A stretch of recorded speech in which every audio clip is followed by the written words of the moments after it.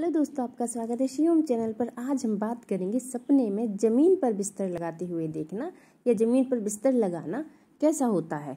हमें सपने कई तरह के आते हैं, नींद में हम बिल्कुल भी नहीं जान सकते कि हमें किस तरह का सपना किस रूप में कैसे दिखेगा।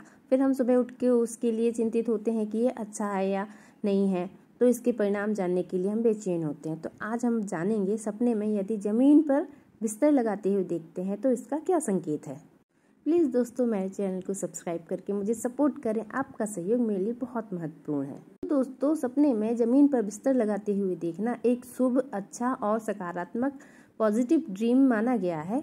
यह सपना बताता है कि आने वाला भविष्य आपका अच्छा बेहतर होने वाला है। जो भी इस सपने को देखता है, उसे प्रसन्न हो जाना चाहिए, क्योंकि यह सपना अच्छे संकेत लेकर आता है। सपने में ज़मीन पर बिस्तर लगाना लंबी आयु, दीर्घ आयु का संकेत है और आपके जीवन में सुख, समृद्धि और अवेंडेंस खुशियाँ बढ़ने का भी संकेत है।